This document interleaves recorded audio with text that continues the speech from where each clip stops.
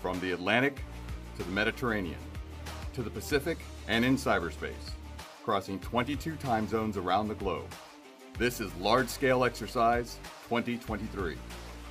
This global naval exercise brings together the combined firepower of the United States Navy and the United States Marine Corps, military personnel from more than 50 commands, joining forces to practice and refine methods of warfare in order to keep their skills sharp and ready for any challenge that comes our nation's way.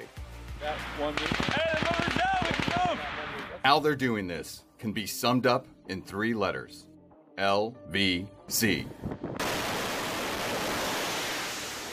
L, standing for live units operating at sea in the real world.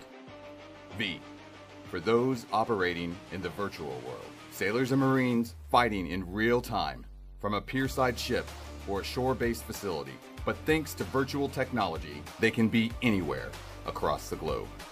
No different than a multiplayer video game that allows players to interact with each other and adversaries in an all too real battle space. And C, for the constructive entities, friendly and adversarial forces, inbound and outbound ordnance that emit and appear on sensors of live and virtual units as if they're real. Exercise leaders can control these unknown variables to truly put our team to the test. Large Scale Exercise 2023, one of the most realistic and technologically advanced naval exercises ever executed. We reduce wear and tear on our ships and limit the stress and strain on our sailors, who can now go home after a long day of training and regroup. As our nation enters an emerging era of strategic competition, Large Scale Exercise 2023 won't just improve our Navy Marine Corps team's ability to fight, but how to fight and win. On land, in the air, at sea, or in cyberspace. Large scale exercise will increase our ability to protect the world's economy, our national security, and defend our way of life from hostile nations that threaten the international seas.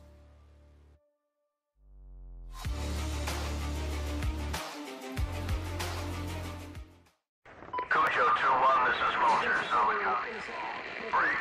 We are in contact with Stalker 2, a Marine recon platoon north of the MSR. They blasted three T-72s in the area. I need you to push 16 clicks north of MSR knife to map grid 257, 79 or 8.